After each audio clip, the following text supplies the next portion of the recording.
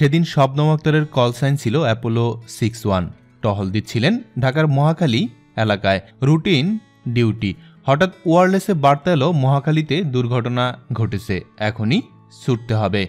গাড়ির হুইল মহাখালীর দিকে।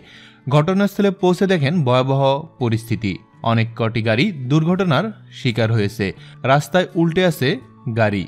পথ বন্ধ। বিরাট বিশৃঙ্খলা। ভিআইপি পরিবহনের বাসটি যখন ফ্লাইওভার থেকে নিচে নামছিল, তখন সেটি ব্রেক ফেল করে সামনের গাড়িকে ধাক্কা মারে। ধাক্কাটা আসলে জুড়ে সুরেই পরপরই দশটি গাড়িতে ধাক্কা লাগে।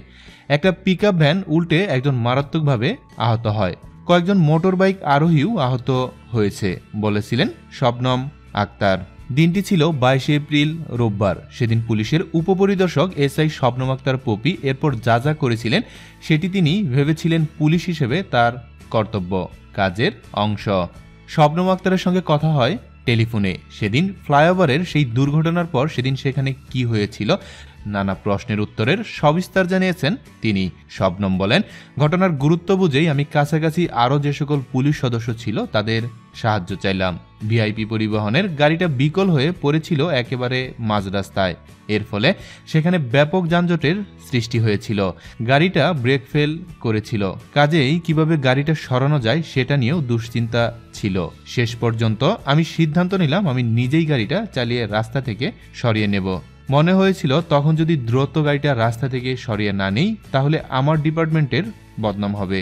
আর আমার ডিপার্টমেন্ট এই ট্রেনিংটাই দেয় মানুষের সেবা করা, বিপদগ্রস্ত মানুষকে সাহায্য করা। আমাদের কিন্তু ট্রেনিংয়ে এটা শেখানো হয়। শবনম আক্তার গাড়ি চালানো শিখেছিলেন নিজ আগ্রহেই, তবে পুলিশ সদস্য হিসেবেও গাড়ি চালানোর প্রশিক্ষণ নেন। কাজেই বাসটি চালিয়ে রাস্তা থেকে সরিয়ে নিতে সমস্যা হয়নি। বলেন, কিছুটা ভয় কাজ করছিল, যেহেতু গাড়িটির ব্রেক কাজ করছিল না। যে পিকআপটি রাস্তায় উল্টে গিয়েছিল, তার ড্রাইভারও আহত হয়ে পড়েছিলেন। রাস্তায় ব্যথায় কাতরাচ্ছিলেন। তাকে প্রাথমিক চিকিৎসা দেওয়ার কাজেও এগিয়ে গেলেন শবনম। তার অবস্থা দেখে আমার বেশ খারাপ লাগছিল। তখন আমি একজনকে টাকা দিয়ে বললাম, আমাকে কিছু বরফের টুকরো এনে দিন। আমি আহত লোকটিকে আশ্বস্ত করার চেষ্টা করলাম এই বলে যে আপনার কিছু হয়নি। আমি পরে তার আঘাতের জায়গাগুলোতেই বরফের স্যাক দেই। বলেন এই এসআই। তিনি আরও বলেন, লোকটি বলছিল, তার বাপা বোধহয় ভেঙে গেছে। তখন আমি গামছা দিয়ে সেটা বেঁধে দেই। তখন আমার মনে হচ্ছিল, যদি আমি সেই সময় এই প্রাথমিক চিকিৎসাটা না দিই, এই পা হয়তো আর ভালোই হবে না। আহত লোকটিকে এরপর দাঁড়াতে সাহায্য করেন শবনম। হাঁটতেও সাহায্য করেন। তারপর একটি গাড়িকে অনুরোধ করে লোকটিকে চিকিৎসার জন্য পাঠানোর ব্যবস্থা করেন। পুলিশ সদস্য হিসেবে প্রাথমিক চিকিৎসার প্রশিক্ষণও নিয়েছিলেন শবনম। তিনি জানান, বাংলাদেশ পুলিশ সদস্যদের এখন এসব প্রশিক্ষণ দেওয়া হয়। তার ভাষায়, বাংলাদেশ পুলিশ এখন অনেক এগিয়ে। আমাদের গাড়ি চালানো, প্রাথমিক চিকিৎসা সবকিছুই শেখানো হয় এখন প্রশিক্ষণে।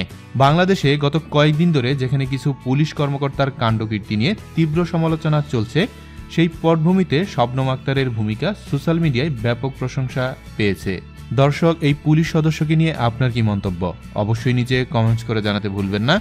চারিদিকে ঘটে যাওয়া সব খবর সবার আগে পেতে আমাদের চ্যানেলটিতে সাবস্ক্রাইব করে সাথেই থাকুন।